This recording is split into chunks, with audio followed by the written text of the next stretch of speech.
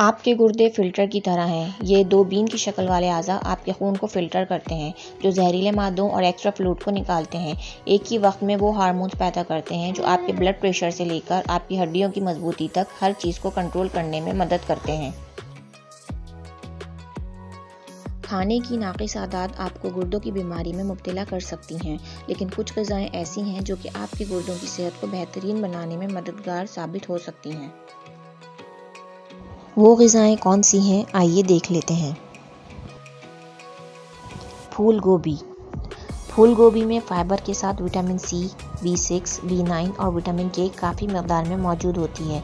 इसमें ऐसे मुरक्बात भी होते हैं, जिनका इस्तेमाल आपका जिसम, जहरीले मादों को भी असर करने के लिए कर सकता है ख़ास तौर से जब आपके गुर्दे फिल्ट्रेशन का बेहतरीन काम नहीं कर रहे होते।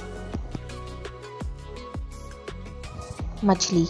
मछली प्रोटीन फराहम करती है और जब आप टोना, सालमन या ट्राउट जैसी चर्बी वाली मछली का इंतखब करते हैं तो आपको ओमेगा थ्री फैटी एसिड भी मिलते हैं, जो कि खून में चर्बी की सतह और ब्लड प्रेशर को कम करने में भी मदद दे सकते हैं। सेब सेब कैंसर से लड़ने वाले अज्जा और फाइबर फराहम करते हैं, जो आपके ब्लड शुगर और कोलेस्ट्रॉल को सेहतमंद सतह पर रखने में मदद कर सकते हैं और इनमें काफ़ी मकदार में एंटीऑक्सीडेंट्स पाए जाते हैं।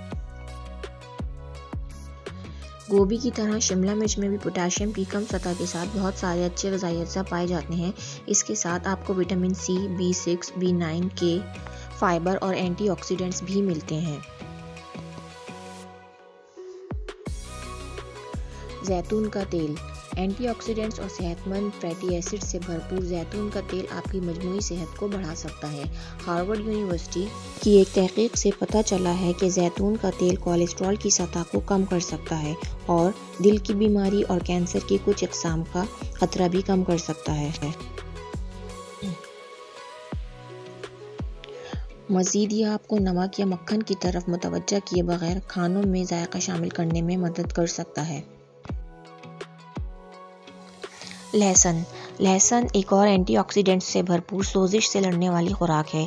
अगर आप अपने गुर्दों के लिए बेहतरीन खाने की तलाश कर रहे हैं तो लहसन ज़रूर अपनी डाइट में शामिल करें। प्याज। प्याज में vitamin C, B six, manganese और कॉपर के साथ ऐसे केमिकल्स भी पाए जाते हैं जो कि आपके जिस्म को कैंसर से लड़ने में मदद करते हैं। इसके अलावा इसमें ऑर्गेनिक सल्फ़र कंपाउंड भी पाए जाते हैं जो आपके हाई ब्लड प्रेशर, दिल की बीमारी और फॉलेज के ख़तरे को कम कर सकते हैं। अंडे की सफ़ेदी। अंडे की सफ़ेदी ख़ास तौर से उन लोगों के लिए तजवीज़ की जाती है जिनको गुर्दे के मसाइल हैं। ख़ास तौर पर अगर आप डायलिसिस पर हैं तो ये आपके प्रोटीन की सतह को बढ़ाने में बहुत मददगार साबित होती है।